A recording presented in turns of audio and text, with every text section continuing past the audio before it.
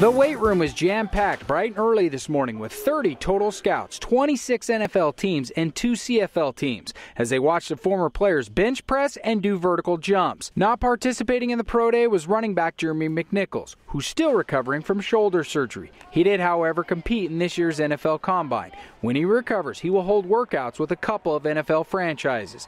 McNichols says he has confidence in turning pro. Yeah, I'm not nervous at all everything's out there. My resume's out there. My film's out there. My, my, times are out there. There's nothing else for me to stress about. Everything is out of my hands at this point. So I'm not going to stress about nothing. Whoever wants me and falls in love with me, Linebacker Tanner Vallejo, who injured his wrist this past year, showed solid effort on the bench, lifting 225 pounds 19 times.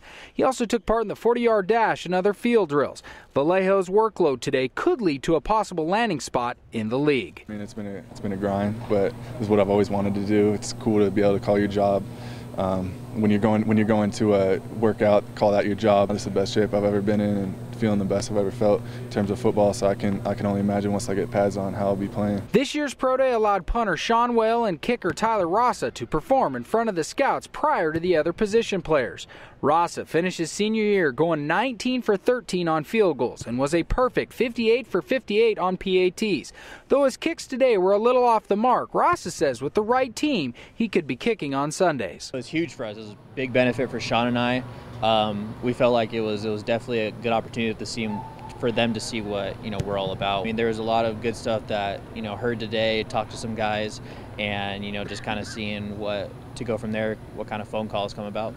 For offensive lineman Mario Yakoo and wide receiver Thomas Sperbeck, both did not participate in the NFL Combine, but took part in the Pro Day. Yakoo plans to stay in Boise to train for the draft, and Sperbeck's uncle, who is an NFL agent and his agent, will head to Sacramento. Obviously, like you said, you know, it was a bummer not getting invited to the Combine, but I was able to show what I needed to show here, and um, I think I hit most of the times that I wanted, and uh, you know, in the weight room, I think I was I was good at the vert broad bench. You know, I hit numbers I really wanted to hit, and I'm happy with today's result. Especially today, I kind of surprised some people with my times and stuff, and, and I think that some guys think that I don't have the athletic ability, but I think I do, and, and um, you know, I have I'm I'm pretty football smart, so I got that going for me. But yeah. The NFL Draft will take place on April 27th. Dan Hawk, six on your side.